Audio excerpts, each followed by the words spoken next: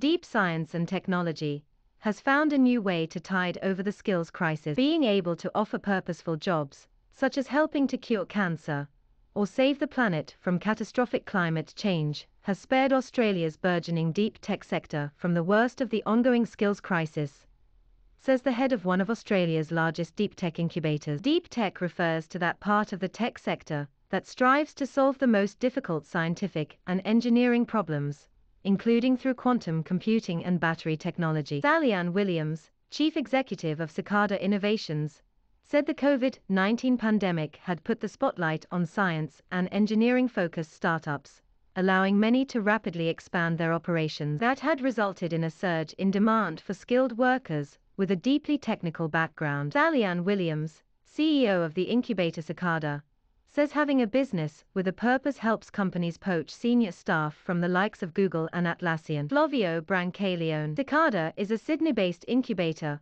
owned by the Australian National University, University of NSW, the University of Sydney, and the University of Technology Sydney. It is helping to develop around 40 deep tech startups in fields including quantum computing, biotech, agritech, renewable energy, and battery technology. The jobs board at Main Sequence Ventures, the venture capital firm managing the CSIRO's Deep Tech Oriented Innovation Fund, now has a record number of vacancies on it, close to 300 jobs in deep tech. Ms. Williams said many of those jobs were at the startups at Cicada's incubation campus at Eveleigh in Sydney.